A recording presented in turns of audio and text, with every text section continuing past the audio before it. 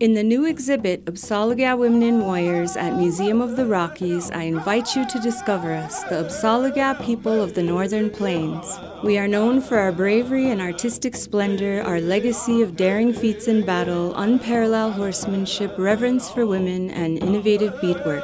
Alongside our sacred war shields and regalia, contemporary art highlights how our bravery and artistry are alive today. Learn more and plan your visit at museumoftheRockies.org.